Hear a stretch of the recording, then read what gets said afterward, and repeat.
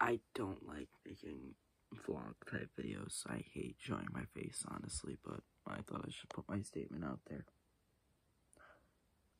Technoblade, you will be missed. By me especially. I'm someone who adored your content. Since I got to YouTube back when you started still playing Blitz SG. Right after the Team Fortress phase. Um and I I miss those days so much. I wish you never had to go through what you've gone through and where you are now. Thank you, Technoblade. I know it's not the time to say goodbye, but goodbye. It's hard to move on, and I probably never will. Technoblade was my childhood.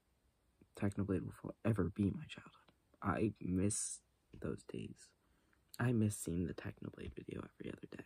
Every day, even for a bit there in 2016 and it hurts to see him go. It really does for me. Um, I owe a lot to Technoblade. I owe my sense of humor, my love for gaming, my love for the game Minecraft. This setup I owe to Technoblade. I owe so much to him. He kept me going through thick and thin, and I'm gonna miss him. I don't want to treat him like he's dead. I don't want to see him as dead. Because honestly, I'm pretty much crying right now.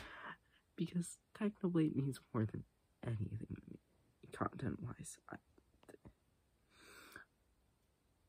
Technoblade, you will be missed. If I could have anyone back, if I could fix, if I had three wishes, Technoblade coming back would be one of them. Because the amount of people he made happy it's too many to discount. And uh, it's, uh, it's a lot. I don't know how his family is doing. He did so much to help his siblings. He did so much to help his parents. He took a gamble and went for it, and he succeeded. And he makes me continue to want to try to do that every day. I'm coming back to YouTube, hopefully. If not, I'm not going to take this as something to cry and whine over. I'm to cry over, you, yes. But I'm to take this as my opportunity to use this as confidence to see that even in death, someone can be successful. Even if the worst circumstances hit them, they're successful. It may be a month till I come back, but I'm coming back. I'm taking this as my chance to show that I'm someone worth caring for. Show that I'm a creator that knows what they're doing, that can understand the algorithm that can do what he did. And I don't care really what it takes anymore. I want to make my legacy as great as his. So take this as my promise. I'm coming back. I've been streaming more. I've been making TikToks.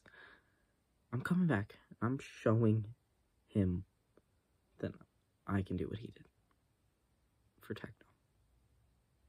I'm doing it. I'm taking my chance. I'm picking at what may be a dead horse, even though it's only been a couple hours. I may be picking at a dead corpse, but I'm using this as my chance to show him that I can be a protege. I someone who can show everyone that I shouldn't be overlooked, just like he did back in the day to all my, all of the people my age. I love you, Techno. This is all for you. Rest in peace.